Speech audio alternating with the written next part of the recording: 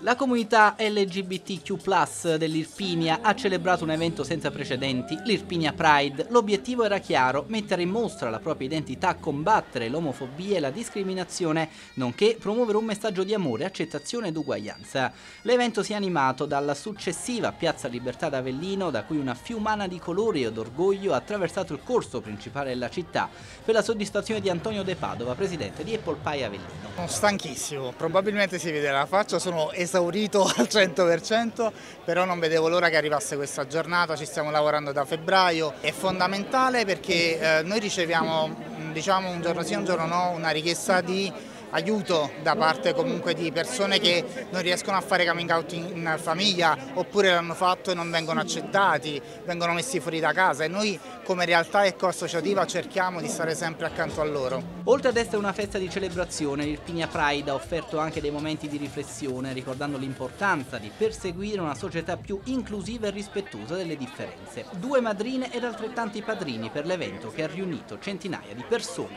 Per me è una bellissima emozione partire da casa casa è sempre bello, fare il Pride a Milano, a Roma è più facile di farlo ad Avellino, quindi sono felicissima di essere qua oggi. La testimonianza è sempre importante e soprattutto quando si parla di diritti, di eguaglianza e di non discriminazione. Troppi episodi in giro di discriminazione e di violenza, quindi la testimonianza in questo caso è basilare.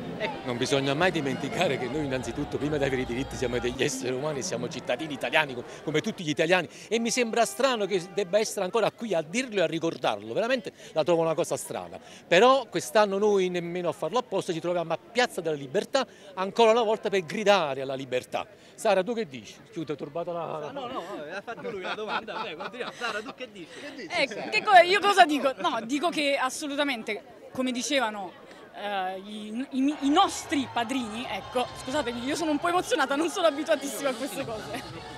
ok, grazie, grazie. Eh sì, c'è, questa cosa, mi, loro mi tengono, mi terranno in piedi per tutto il percorso e quindi sì, dobbiamo gridare all'uguaglianza, ai diritti, perché comunque è assurdo che siamo nel 2023 e ancora c'è gente che non riconosce che siamo persone, siamo esseri umani.